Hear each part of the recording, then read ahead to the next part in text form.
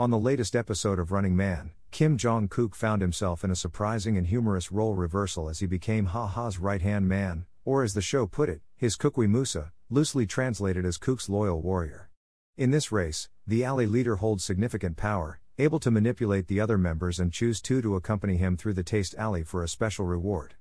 Once known for his fierce independence and as Yoo Jae-suk's reliable sidekick, Kim Jong-kook's new allegiance to Ha Ha brought unexpected laughter to the show. Ha Ha's exaggerated displays of affection, including scratching Kim Jong-kook's chin, had Kim laughing along, marking a shift in the power dynamics among the cast members. The leader of the alley race enjoyed a special privilege, the chance to eat for free. Meanwhile, the remaining members faced the tough decision of either splitting the cost or undertaking a humorous money spinning mission. This episode's mission required the cast to use only their toes to type out a correct phrase as quickly as possible, leading to a chaotic and hilarious scene. The members grumbled about their difficulties, with complaints ranging from I make typos even with my fingers to I can't even see the keyboard under my feet.